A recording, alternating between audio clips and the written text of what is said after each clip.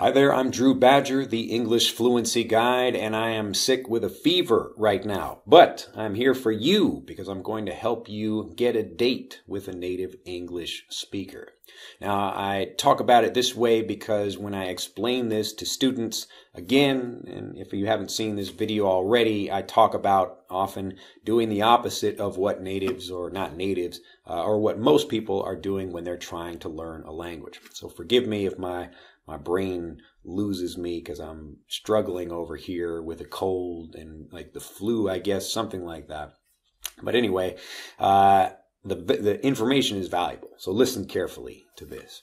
Now, when I explain to people about doing the opposite of what, uh, what like most people are doing for that thing and in this thing i'm talking about language learning uh, what you will see if you scroll down in the comments below this video you will probably see people asking hey let's make a conversation partner group or whatever and let's have a have like a partnership or you know let's meet and speak with each other. So most people are doing something like that which means you should not do that thing now, you might find someone to practice with, maybe you will, uh, but there are a lot better ways to do that, more efficient ways, and I'll talk about that in this video. So I talk about getting a date with a native English speaker because honestly, uh, you really want to be practicing with native speakers. When I was learning or just beginning to learn Japanese, I didn't want to sit and talk with other beginners of Japanese. How is that going to help me? I want to find native speakers, even if they can't even if they don't know much about the language, uh, just like parents, most most parents don't know much about their language to teach it to their kids but they know how to explain things in, in a pretty simple way, or just even say one word or two uh, that they can make that easy to understand. So just because you're learning with a native speaker doesn't mean they are a good teacher of that, but most people can teach a little bit, and it's usually going to be better for your fluency than trying to learn with someone who's going to spend a lot of time explaining how rules work. So you want to understand that, you want to own the language, and that's what's going to help you become a fluent, confident speaker. So, when I talk about getting a date, number one, you do not want to go to an English language learning video and ask other people there to practice speaking with you. Now, this is really the biggest mistake people make, and this is kind of searching in the wrong place. As an example, I would not go to a bakery looking for uh, fresh cuts of meat something like that. I would go to a butcher for that. Uh, if I want to catch a great white shark, I'm not going to go to a freshwater lake. I need to go to a saltwater ocean for that. So you have to go into the right place where the people are. So if I'm like a business owner and I'm looking for customers or something like that, um, I have an ice cream store. I'm going to go, you know, where are people on a hot day? They're going to be sitting out at the beach or something and like they're going to be looking for some ice cream. So I go to where the people are that I'm interested in. And so that's the first thing you want to be looking for where native speakers are. And right now we're watching this on YouTube and there are lots of native speakers, but they are not watching this video unless they are maybe a teacher or something like that. So what you do is you go to actually where native speakers are and look for those videos about the things you're specifically interested in. Uh, and then start, maybe it's about cars or, you know, about uh, whatever. It could be about some very specific, maybe you want to grow purple tomatoes or you make stuffed animals or whatever that thing. You can find information about anything you want on YouTube made by native English speakers. And all you're doing is you're looking for people uh, that share your interests. And know, this is what I'm talking about, about getting a date with someone. So you have to think about it like a personals So the personals are when you open up a newspaper or now you see this online, these are like men looking for women or women looking for women or men looking for whatever. Uh, and, and these are where like I'm a, like a tall, uh, blue eyed, black haired man. Uh, I have a good job, but I'm looking for a woman, and this is the kind of woman I'm looking for. So these are called personals ads. Now, the second biggest mistake that English learners make is they actually have no specific idea of the kind of person they want. Most people are just happy to have anyone. Like, please, like, please practice speaking with me.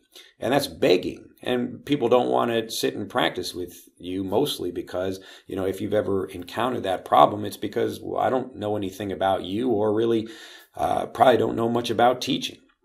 And so students, they expect a lot from a native speaker, like, oh, why do you do this? And they ask lots of questions about people who really don't know the answers to those things. So again, thinking about it like a personals ad that you write for the newspaper, you have to think about who you are and you have to think about specifically who is the kind of person you're interested in. So do you like uh, like a speaker who's interested in you know certain kinds of activities or they uh, like reading certain kinds of books or watching certain kinds of movies whatever that thing is. Now when you start thinking about this youtube itself becomes a giant personals ad so me, here I am, like you can look at me and learn all about me and understand more about who I am and my interests just by watching my videos. And I talk about English language learning more than really myself and my personal things that I enjoy, but you will find things like that when you're on YouTube looking for that kind of information. So if you go to right here on YouTube and you look in English for raising horses or keeping pet turtles or whatever it is you're interested in. You first develop the kind of person you're interested in. Like, do you like someone who's a little bit shy or do you like someone who's more outgoing? Do you like, you know, a person who's interested in, uh, whatever that thing is? But you create a profile of the kind of person you're interested in and then go to that video and then make a comment in that video and just kind of build the build the conversation from there. I talk exactly about how to do this uh, in the fluency course. There's a whole kind of step by step about what to say and how you uh, begin the the uh, the conversation. What are the specific things you could notice about that person? How do you say that? How do you begin that? Um, so I won't talk so much about that in this video, but you get the general idea. So the two big things, most important thing is go to where the fish are. So if you're going to fish, go to where the fish are. Don't go on land looking for fish. Go to the, where the fish are. Number two, be specific about who your target is. What kind of fish do you want? And then when you're searching for the right kind of fish and you know what kind of fish you want, it really becomes much easier to find that person. Native speakers are all over the place and they're excited to practice with you if you find them in the right way. But you have to be looking for them as a friend, someone who could be sharing an interest with you rather than someone who's just going to be some free teacher for you and you're going to get lots of uh, advice from them or they're going to answer lots of questions that they probably don't know the answers to. So you have to be honest and you have to be specific about what you want. But I've done this as I found lots of Japanese people to speak with, even when I was back in the United States. Uh, and of course, it's very easy to find them here in Japan to practice my Japanese. Well, that's it for this video. Uh, if you'd like to learn more about that, again, taking people step by step through different challenges like this, uh, I do that through every lesson set that we have in the fluency course, uh, and all of our lesson sets really actually showing you how to meet native English speakers to practice with. Again, this is what I do my way because I didn't do it by like using like uh, Skype lessons or something like that. Uh, so I recommend you actually go out and you can meet lots of friends if you do it the right way, which is exactly what I show people how to do. Anyway, if you'd like to learn more about that, you can click on the link in the upper right of this video or just get started right here on YouTube.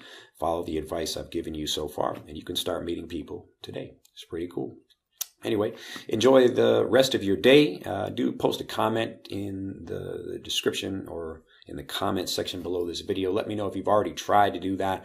Uh, but think about some people you've connected with and just say hello. But don't look for other people to practice with here. Find some natives. Don't be worried about that. Like natives are excited to practice speaking with you if you contact them the right way.